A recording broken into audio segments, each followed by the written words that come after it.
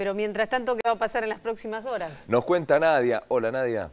Hola, ¿qué tal? ¿Cómo están? Bueno, efectivamente, bajó un poquitito la temperatura si la comparamos con la de ayer.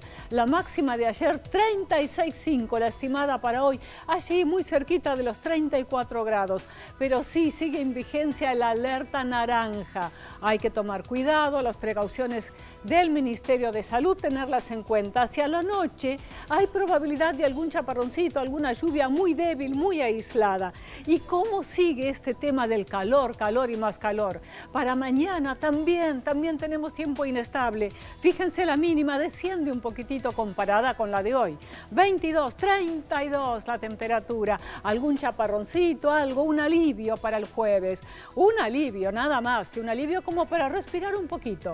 Porque vemos el viernes 23, 34, el sábado 24, 36, el domingo mucho, pero mucho calor, más todavía más alta la temperatura.